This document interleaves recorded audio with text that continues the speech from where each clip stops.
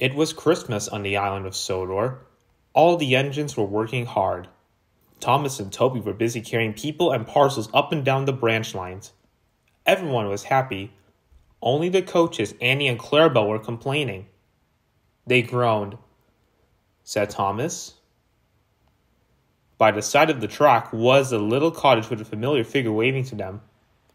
Whistled Thomas. Thomas always felt better for seeing her. When work was over, Thomas went to see the other engines.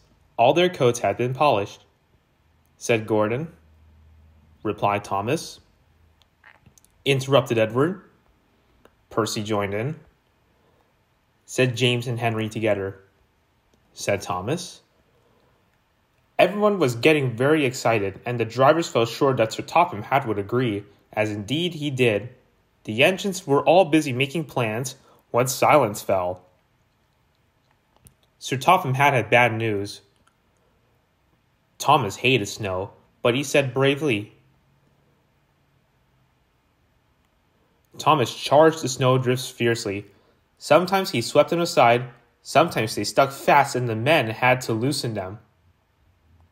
But at the cutting near the cottage, they can go no further, exclaimed Thomas's fireman.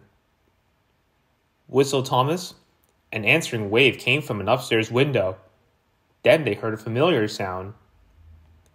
Said Thomas. Sure enough, Terence had a snowplow and was working hard to clear the path to the railway line and safety. At long last, the rescue was complete. Percy took the tired workmen home. Terence said goodbye to Mrs. Kindly and promised to take care of her cottage as he watched them all set off. The engines made good time, no more snow had fallen, but the yard was dark. Thomas's heart sank. Suddenly, all the lights went on. What a marvelous sight awaited Mrs. Kindly, said Sir Topham Hatt. Mrs. Kindly especially thanked the smaller engines. She said. Percy was very pleased. He called. They all whistled. Thomas the Tank Engine and his friends thought it was the best Christmas ever, and Mrs. Kindly could think of nowhere she would rather live than here with them on the island of Sodor.